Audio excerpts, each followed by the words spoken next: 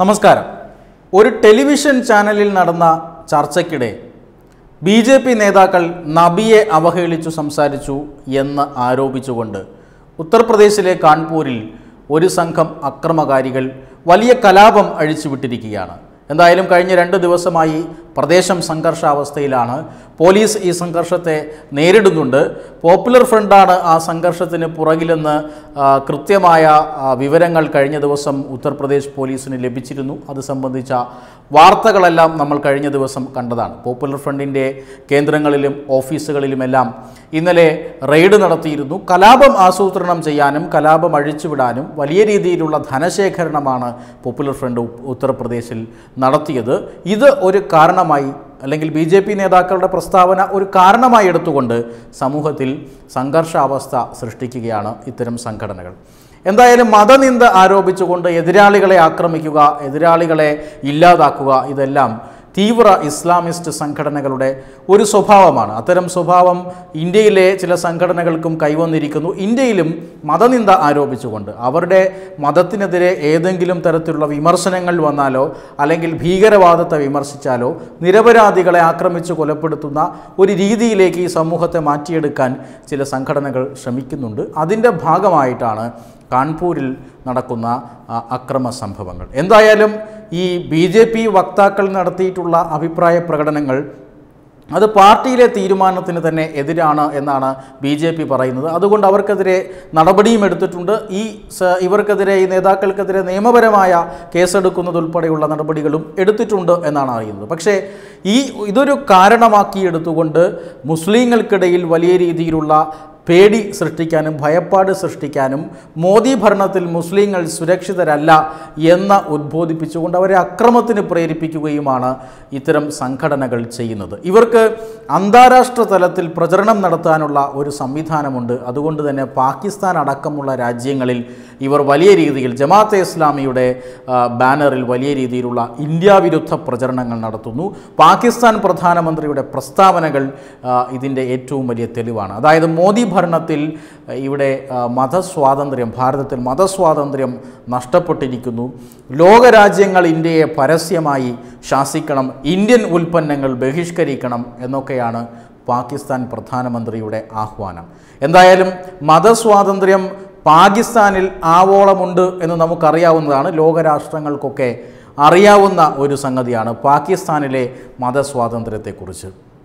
ലോകരാജ്യങ്ങൾ ഇന്ത്യയെ ശകാരിക്കുന്നതിനെക്കുറിച്ചാണെങ്കിൽ അതൊരു പത്ത് പതിനഞ്ച് കൊല്ലം മുന്നേ ആണെങ്കിൽ നോക്കാമായിരുന്നു. എന്തായാലും ഇന്ത്യ ഇപ്പോൾ ഇന്ത്യയെ ശകാരിക്കാനുള്ള ലോകരാജ്യങ്ങൾ ഏതാണ് എന്ന് പാകിസ്ഥാൻ പ്രധാനമന്ത്രി ഒന്ന് കാത്തിരുന്ന് കാണേണ്ടി വരും. മൂന്നാമതായി ഇന്ത്യൻ ഉൽപ്പന്നങ്ങൾ ബഹിഷ്കരിക്കാനുള്ള ആഹ്വാനമാണ്. എന്തായാലും ഇന്ത്യൻ ഉൽപ്പന്നങ്ങൾ ഇപ്പോൾ അന്താരാഷ്ട്ര വിപണിയിൽ പല രാജ്യങ്ങളിലും കഴിഞ്ഞ അല്ലെങ്കിൽ മുൻകാലങ്ങളെ അപേക്ഷിച്ച് ഇന്ത്യൻ ഉൽപ്പന്നങ്ങളുടെ സാന്നിധ്യം ശ്രദ്ധേയമാണ് എന്നുള്ളത് വളരെ പ്രധാനപ്പെട്ട സംഗതിയാണ്. അതുകൊണ്ട് തന്നെ ഇന്ത്യൻ ഉൽപ്പന്നങ്ങളെ ബഹിഷ്കരിക്കാനുള്ള ചിന്തയ്ക്ക് പുറകിൽ ആഹ്വാനത്തിന് പുറകിൽ ആരാണ് അല്ലെങ്കിൽ ഏതു രാജ്യമാണ് എന്ന് ഊഹിക്കാനുള്ള അറിവ് ഒരുപക്ഷെ ലോകരാഷ്ട്രങ്ങൾക്കുണ്ടാകും. ആ രാജ്യത്തിന്റെ ഉൽപ്പന്നങ്ങൾ എങ്ങനെ ബഹിഷ്കരിക്കാം എന്ന് ലോകരാജ്യങ്ങൾ ചിന്തിച്ചു കൊണ്ടിരിക്കുകയാണ് ചൈനയുടെ ഉൽപ്പന്നങ്ങളുടെ സ്ഥാനത്ത് ഇന്ത്യൻ ഉൽപ്പന്നങ്ങൾ പ്രതിഷ്ഠിക്കുന്ന ഒരു കാലഘട്ടമാണ്. അതുകൊണ്ട് തന്നെ ഇന്ത്യൻ ഉൽപ്പന്നങ്ങളുടെ ബഹിഷ്കരണത്തെക്കുറിച്ചുള്ള ആഹ്വാനമൊക്കെ അവിടെ നിൽക്കട്ടെ. മറ്റൊരു കാര്യം കൂടിയുണ്ട്. പാകിസ്ഥാനിലെ തൊട്ടടുത്ത അഫ്ഗാനിസ്ഥാനിൽ അവിടെ ജനങ്ങൾ പട്ടിണി മാറ്റുന്നത് ഇന്ത്യയിൽ നിന്നുള്ള ഭക്ഷ്യധാന്യങ്ങൾ ഉപയോഗിച്ചുകൊണ്ടാണ്. ശ്രീലങ്കയിലെയും സ്ഥിതി മറിച്ചല്ല. ഇന്ത്യയിൽ നിന്നുള്ള ഭക്ഷ്യധാന്യങ്ങളാണ് അവർ ഉപയോഗിക്കുന്നത്. പാകിസ്ഥാന്റെയും സാമ്പത്തിക സ്ഥിതി വളരെയധികം പരിങ്ങലിലാണ് എന്ന് പ്രധാനമന്ത്രി ഷഹബാസ് ഷെരീഫ് ഓർക്കുന്നത് നല്ലതാണ്. അവിടെ ജനങ്ങൾ പെട്രോൾ പമ്പുകൾ കത്തിക്കുകയാണ്. പെട്രോളിനും മറ്റും ഇരട്ടി വിലയാക്കിക്കൊണ്ട് ഭക്ഷ്യധാന്യങ്ങളുടെ വലിയ ദൗർലഭ്യം നേരിടുന്ന വലിയ സാമ്പത്തിക പ്രതിസന്ധിയിലേക്ക് നീങ്ങുന്ന ഒരു രാജ്യമാണ് പാകിസ്ഥാൻ. അതോടൊപ്പം തന്നെ രാഷ്ട്രീയ അനിശ്ചിതത്വവും ആഭ്യന്തര കലാപവും ഉണ്ടാകുന്നു. ഇസ്ലാമാബാദ് പോലുള്ള നഗരങ്ങൾ കറാച്ചി പോലുള്ള നഗരങ്ങൾ കഴിഞ്ഞ കുറേ ദിവസങ്ങളായി അക്രമ സംഭവങ്ങൾ അരങ്ങേറിക്കൊണ്ടിരിക്കുകയാണ്. ഈ ഒരു സാഹചര്യത്തിൽ എപ്പോഴാണ് ഇന്ത്യയുടെ അരിയും ഗോതമ്പും പാകിസ്ഥാന് വേണ്ടി വരിക എന്ന് ചിന്തിക്കാൻ കഴിയില്ല നമുക്ക് ഇപ്പോഴേ പറയാൻ കഴിയില്ല. അതുകൊണ്ട് ബഹിഷ്കരണ ആഹ്വാനമൊക്കെ ഒന്ന് മാറ്റിവെക്കുന്നത് നല്ലതാണ്. എന്തായാലും മതസ്വാതന്ത്ര്യത്തെക്കുറിച്ച് ഇന്ത്യയിലെ മതസ്വാതന്ത്ര്യത്തെക്കുറിച്ച് ടെലിവിഷൻ ചാനലിൽ ആരോ എന്തോ പറഞ്ഞതിന്റെ പേരിൽ ഇങ്ങനെ ഇന്ത്യ മൊത്തം മതസ്വാതന്ത്ര്യമില്ലാത്ത രാജ്യമാണ് എന്ന ഒരു പ്രചരണം പല വിദേശ രാജ്യങ്ങളിൽ നടത്തിയെങ്കിലും അതൊന്നും ഏശിയില്ല എന്നാണ് റിപ്പോർട്ടുകൾ. ഇന്ത്യയുടെ നയതന്ത്രത്തെക്കുറിച്ചും ഇന്ത്യയുടെ ജനാധിപത്യത്തെക്കുറിച്ചും ഇന്ത്യക്കുള്ളിലുള്ള മതസ്വാതന്ത്ര്യത്തെക്കുറിച്ചും മതസ്വാതന്ത്ര്യത്തെക്കുറിച്ചുമെല്ലാം ഇന്ന് പണ്ടത്തേക്കാളേറെ ലോകരാജ്യങ്ങൾക്ക് നന്നായി അറിയാവുന്ന ഒരു കാലഘട്ടമാണ്. നബി തിരുമേനിയെക്കുറിച്ച് എന്തെങ്കിലും പറഞ്ഞു കഴിഞ്ഞാൽ വലിയ പ്രശ്നമാകുന്ന ഈ വിഭാഗം ഒന്ന് ചിന്തിക്കണം. ഈ നാട് ഈ രാജ്യത്തെ ജനങ്ങൾ ഭാരതാംബയായാണ് കാണുന്നത്. ഭാരതാംബയെ നഗ്നമായി ചിത്രീകരിച്ചത് ആരാണ് എന്ന് നമുക്കറിയാം. സരസ്വതി ദേവിയെ നഗ്നമായി ചിത്രീകരിച്ചത് ആരാണ് എന്നറിയാം.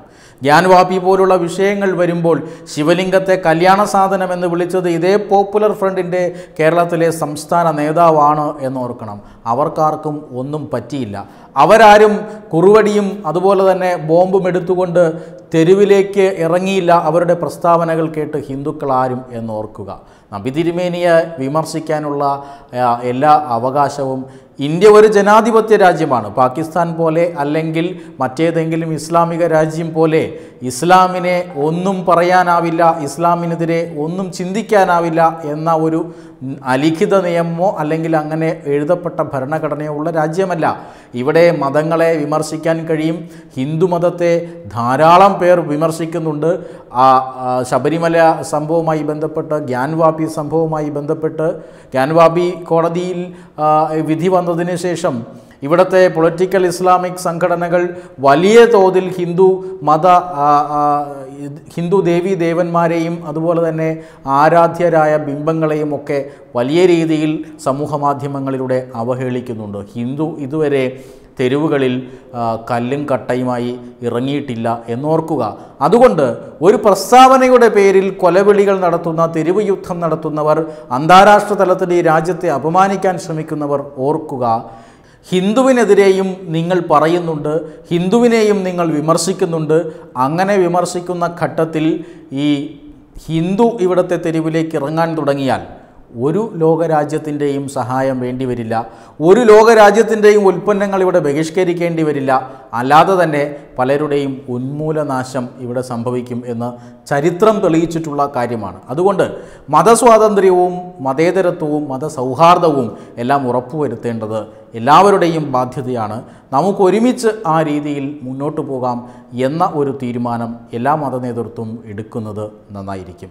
വെബ് ഡെസ്ക് തത്തുമൈ ന്യൂസ്. Thank you.